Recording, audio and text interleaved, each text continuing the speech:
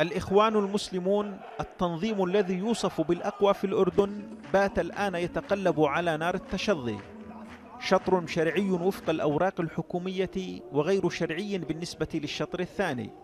وشطر غير شرعي أيضا وفق أوراق الحكومة وبنظر الشطر الأول. معادلة قد لا يفهمها الكثيرون.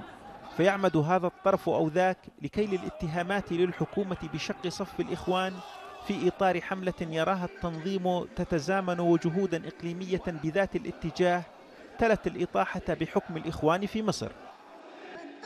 الحكومة الأردنية في ظل أيضا الخلافات الداخلية استثمرت هذا الوضع واستثمرت هذه اللحظة التاريخية لتدعم طرف على حساب طرف ولتعيد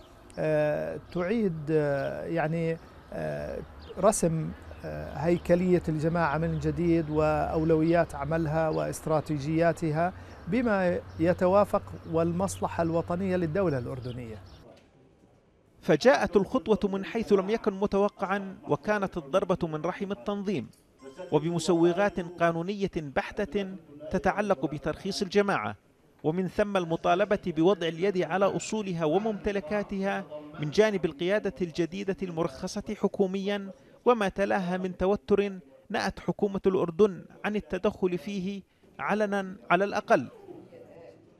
الإشعار الذي قدم من قبل عدد من المواطنين من أجل القيام باحتفال جماهيري وبعد ذلك قامت جمعية الإخوان المسلمين المرخصة بالاعتراض على أن هذا الإشعار قدم واستخدم وانتحل اسم الجمعية المرخصة.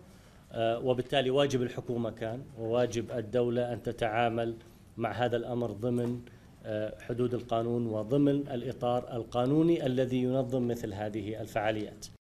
القيادة القديمة تبحث كل يوم عن إثبات ذاتها على الأقل أمام كوادرها التي بدأت أولا بأول تفقد الثقة في قدرتها فكان قرار تنظيم فعالية في الذكرى السبعين لتأسيس جماعتهم.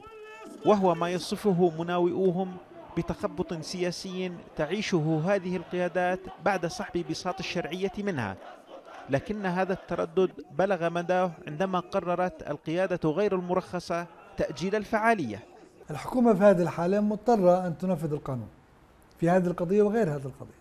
وبالتالي أي فعالية أي نشاط أي عمل سياسي أو غير سياسي يقوم به الإخوان المسلمين بالجماعة القديمة سيواجه بمعارضة ورفض من الجماعة المرخصة باعتبار أن هؤلاء ينتحلوا صفة الإخوان ويحملوا اسم لجماعة بشكل غير قانوني وبالتالي الحكومة مضطرة أن تنفذ القانون وأن تمنع أي نشاط باسم الإخوان إلا إذا كان صادر عن الجماعة المرخصة.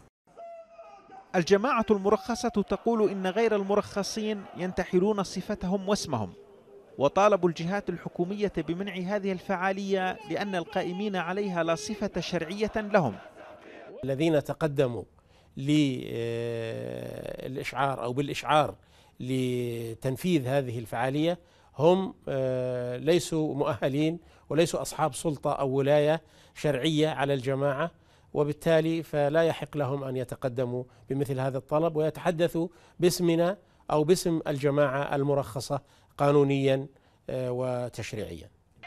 يبقى تطبيق القانون هو الفيصل بين قطبي الحركة الإسلامية بانتظار موقف حكومي يبت في القضية بالقانون وروحه في آن وبما يحافظ على البلاد في خضم الأوضاع الأمنية الملتهبة في المحيط وما لها من انعكاسات سلبية داخليا.